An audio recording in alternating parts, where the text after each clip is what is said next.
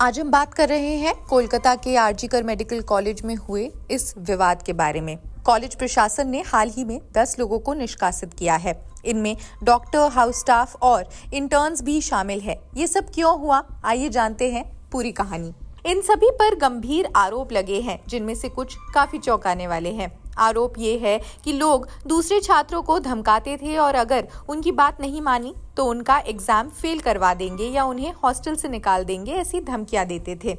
इतना ही नहीं। इन पर आरोप ये है कि अपने जूनियर्स को एक खास राजनीतिक दल से जोड़ने के लिए मजबूर भी करते थे। सोचिए, ये सब यही नहीं रुका। यौन उत्पीड़न, पैसों की ज़बरदस्ती, वसूली और झूठे एफआईआर दर्ज करवाने जैसे गंभीर आरोप सामने आए हैं। इन सभी आरोपों के बाद कॉलेज प्रशासन ने विशेष कॉलेज काउंसिल की मीटिंग बुलाई और जाँच कमेटी की रिपोर्ट के आधार पर 10 लोगों को निष्कासित कर दिया है। आपको बता दें, इन सभी निष्कासित लोगों में से एक का नाम है आशीष पांडे, जो पूर्व प्रिंसिपल संदीप घोष के करीबी भी है।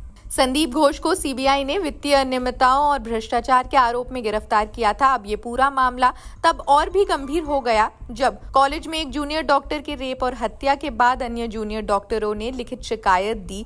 कॉलेज में धमकियों का एक ट्रेंड सा चला है। अब प्रशासन ने कड़ा रुख अपनाया है और यौन उत्पीड़न के आरोपों पर एक विशेष कमेटी के सामने पेश करने के लिए नाम भी भेजे हैं। इसका मतलब ये है कि जो दोषी पाए जाएँगे, उनके खिलाफ कड़ी कार्रवाई तो होगी ही।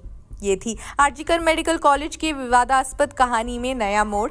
ये घटना एक बड़ा उदाहरण है कि कैसे शैक्षिक संस्थानों में अनुशासन और न्याय व्यवस्था को बनाए रखना ज़रूरी हो जाता है।